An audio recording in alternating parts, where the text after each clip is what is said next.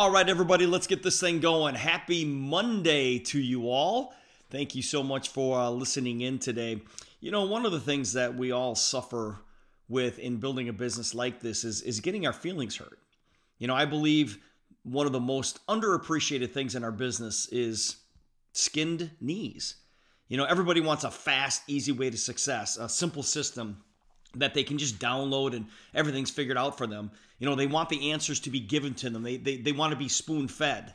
You know, the presentation is sometimes the problem because maybe we make it sound too easy. You know, when we explain what this opportunity is all about and we explain how great it is and how simple it is, you know what? It's you still have to go do the work, right? And when you think about uh, human nature, those people don't want to prepare their own food or they certainly don't want to build their own house. And you know what? A lot of times people don't want to go out and grow a business. They think their downline should do it for them.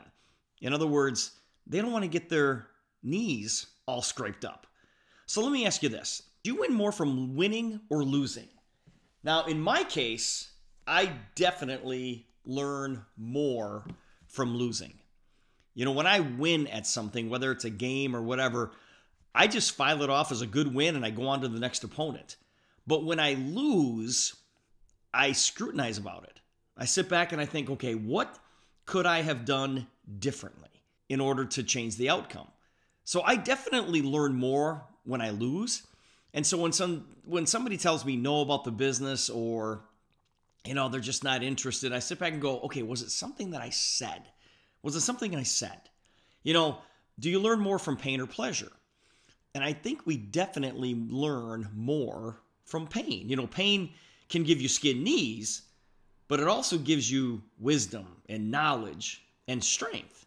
You know, there are a bunch of newbies out there in our in our industry that have never learned how to build. And I have to be careful about this because I assume people know things that they don't. You know, a lot of times I, I bring a new person into the business and I just assume that they know things, like really basic things. And these people have never been involved in this type of business before in their life. And it's like, no, they don't know. So we can't ignore the basics of our business. You know, there, there's, there's a bunch of um, things that become common sense to you, but they're not common sense to the new person. And I think you've heard me say this before, but how long do you give a baby to walk? Well, you give the baby as long as it takes, right? But the baby's going to fall down. And the baby might skin his or her knees every now and then, every now and then, but they're learning how to walk, right? Now, I know you don't want pain, but don't be shocked when it shows up. I don't want things to be difficult for you, but when difficulty shows up, just be ready for it. Just be ready for it. And when difficulty shows up, that is always an opportunity for you to grow. To grow. You know, just understand that difficulty just means you have an opportunity to grow and be better. Learn from the mistakes that you made. Now, I know you know, nobody wants to make mistakes. Everybody's afraid of looking bad in front of the rest of the world, but that's how you grow. Don't be afraid to make millions of mistakes. You know, um, don't be afraid to embarrass yourself, and don't be afraid to even fail. Listen, I don't want bad things to happen for you, but when they do, you're going to get better and you're going to learn. You will skin your knees. You know, most people are looking for the easy way, but the easy way is not necessarily the best way. You know, that's why the lottery is so successful because people think that that's the easy way. All they have to do is pick six numbers on a Saturday night and they're going to be set for life. You know, don't water down your experience because you're afraid of scaring new associates. That's why I wrote my book. You know, my book is titled Yes. Sometimes it is about the money.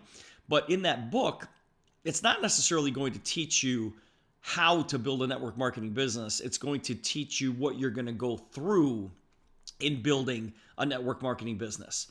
You know, tell them what it's really like to go to the top. Don't hide the hardships from them.